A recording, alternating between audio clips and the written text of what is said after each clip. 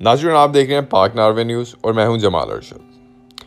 नाजरन गामी भारत और अमेरिका के दरमियान दिफा और तालीम समेत अहम दीगर शोबों में ताउन के माहे हुए हैं और माहों को दोनों मुल्कों के दरमियान पायदार ताउन के तौर पर देखा जा रहा है। अमेरिका और भारत ने साफ़ तोानाई और खलाई शोबों में मिलकर काम करने से मुतलिक शराकत दारी को आगे बढ़ाने पर इतफाक़ किया है।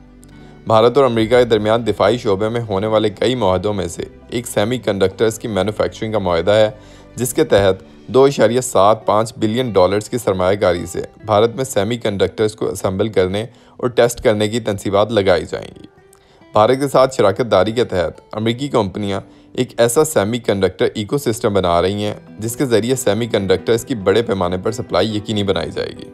वाज रहे कि सेमी कंडक्टर्स का इस्तेमाल जदीद फौजी साजो सामान की तैयारी में किया जाता है और अमरीका इसे अपनी कौमी सलामती के लिए अहम करार देता आया।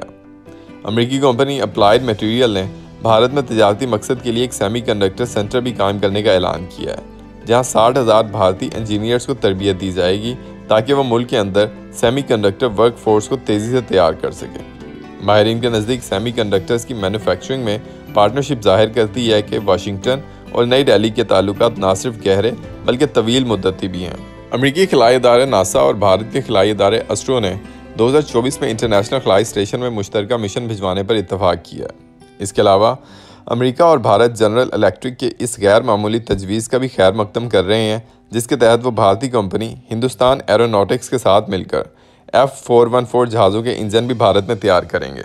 यहाँ आपको मजीद आगाह करते हैं कि खबरस्तान राइटर्स के मुताबिक, बाइडन हुकूमत अमरीका में भारतीय शहरीों के क्याम और काम के लिए आसानियाँ पैदा कर रही है। इस सिलसिले में मामला से बाखैर जराए ने खबर साइदार राइटर्स को बताया है कि मखसूस तादाद में भारतीय शहरीों समेत दीगर गैर मुल्की वर्कर्स अमरीका से जाए बगैर वहीं रहते हुए अपने एच वन बी वीज़े की तजदीद करा सकेंगे। इस जमन में अमरीकी महकमा खारजा के अहदेदार जुमेरात को भी ऐलान कर सकते हैं। एच वन बी वीज़ों की तजदीद अमरीका के पायलट प्रोजेक्ट का हिस्सा है और आइंदा बरसों में इस प्रोग्राम को वसत दी जा सकती है। वाजह है कि भारतीय शहरी अमरीका के H one B visa programme से सबसे ज़्यादा मुस्तफ़ होते हैं। माली साल 2022 में लगभग चार लाख बयालीस हज़ार एच वन बी वीज़ा जारी किए गए, जिनमें से तिहत्तर फ़ीसद भारतीय वर्कर्स ने हासिल किए। अमरीकी हुकूमत हर साल मुख्तलिफ़ कंपनियों के गैर मुल्की स्किल वर्कर्स के लिए पैंसठ हज़ार एच वन बी वीज़ाज का इजरा करती है। इसके साथ अली तलीम याफ्ता वर्कर्स के लिए अलग से बीस हज़ार वीज़ाज जारी किए जाते हैं। ये वीज़े तीन साल के लिए होते हैं, जिनकी मज़ीद तीन साल तोसी हो जाती है। अमरीकी हुकूमत के डाटा के मुताबिक, हालिया चंद बरसों के दौरान बेशतर एच वन बी वीज़ाज भारतीय कंपनी टाटा कंसल्टेंसी सर्विसेज़ और इन्फोसिस ने हासिल किए हैं।